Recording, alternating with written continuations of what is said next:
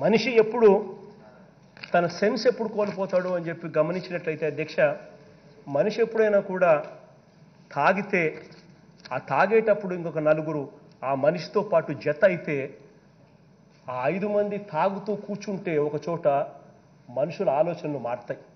మనుషులు రాక్షసులు అవుతారు అధ్యక్ష ఎగ్జాక్ట్గా ఇది ఆపడం కోసమే ఎగ్జాక్ట్గా ఇది జరగకూడదనే ఉద్దేశంతోనే పర్మిట్ రూమ్లు అన్నీ కూడా మా ప్రభుత్వం అధికారంలోకి వచ్చిన తర్వాత రద్దు చేశామని కూడా చెప్పగలుగుతున్నాం